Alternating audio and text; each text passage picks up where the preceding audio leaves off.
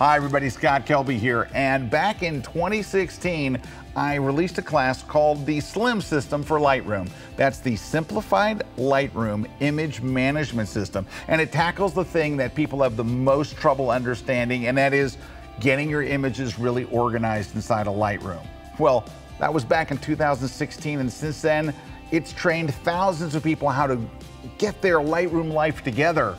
Like, imagine what it would be like if you knew that you were backed up and that you knew where all your images were and everything was organized. And it's not just Lightroom, but it's your photos on your hard drive and, and everything, and it all makes sense. Well, a lot's changed since 2016.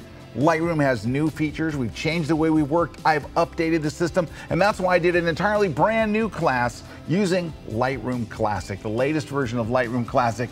And the Slim system has the power to change the way you work in Lightroom forever. Imagine going to sleep at night knowing I know where all my photos are, all my photos are backed up, I can find any photo I want. If that sounds like a dream, you've got to watch my brand new version of the Slim system. That's the simplified Lightroom image management system.